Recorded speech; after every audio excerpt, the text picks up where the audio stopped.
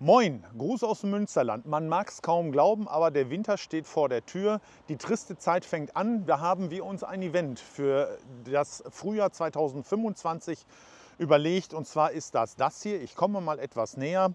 Das ist die www.camperfuchsjagd.de oder camperfoxhunt.com.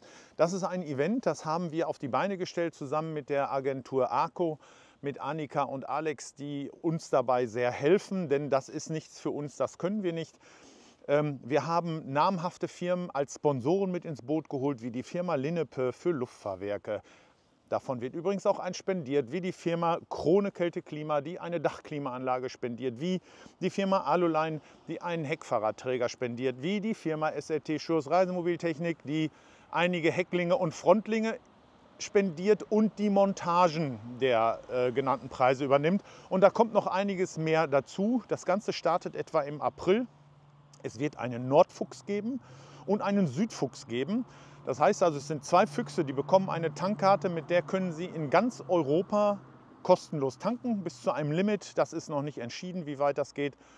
Und dann kommt ihr, dann kommt ihr als Jäger ins Spiel, denn die Jäger bekommen alle eine Nummer, die ist einmalig und die behalten die Nummer, solange sie dabei sein wollen.